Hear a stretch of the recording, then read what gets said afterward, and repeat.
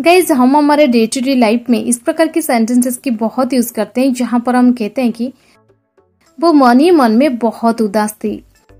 उसे मन ही मन में जलन मच रही थी।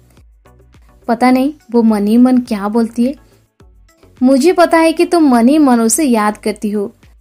गाइज़ इस प्रकार के सेंटेंसेस को हम हिंदी में तो बड़ी आसानी से बोल लेते हैं, बट इसे इंग्लिश में कैसे कहेंगे? इसके लिए कौन से स्ट्रक्चर की यूज़ करेंगे? आज के इस वीडियो में हम सीखने वाले हैं।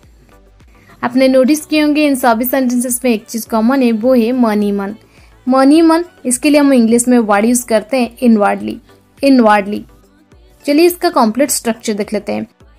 स्ट्रक्चर में पहले आपको यूज़ कर देनी है सब्जेक्ट इसके बाद हेल्पिंग वर्ब हेल्पिंग वर्ब के बाद आपको यूज़ कर देनी है इनवर्डली इसके बाद मेन वर्ब और लास्ट में ऑब्जेक्ट चलिए कुछ एग्जांपल्स लेते हैं ताकि आपको ये स्ट्रक्चर और भी अच्छे से क्लियर हो जाए. वो मनी मन में बहुत उदास थी.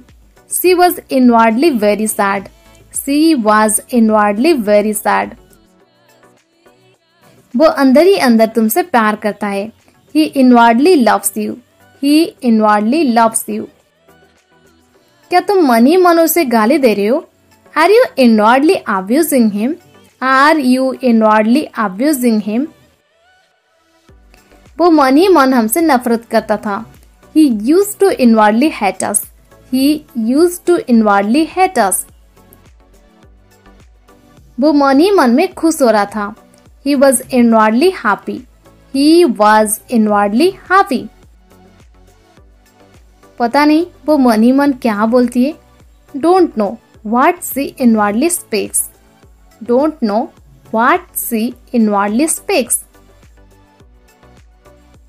मुझे पता है कि तुम मनी मन उसे याद करती हो। I know that you inwardly miss him I know that you inwardly miss him मैंने मन ही मन में भगवान को धन्यवाद किया। I inwardly thanked God I inwardly thanked God मुझे मन ही मन गुस्सा आ रहा था। I was inwardly getting angry I was inwardly getting angry उसे मन ही मन जलन मच रही थी। She was inwardly getting jealous she was inwardly getting jealous. वो अंदर ही अंदर तुमसे प्यार करता है। He inwardly loves you he inwardly loves you वो मन ही मन में बहुत उदास थी। She was inwardly very sad she was inwardly very sad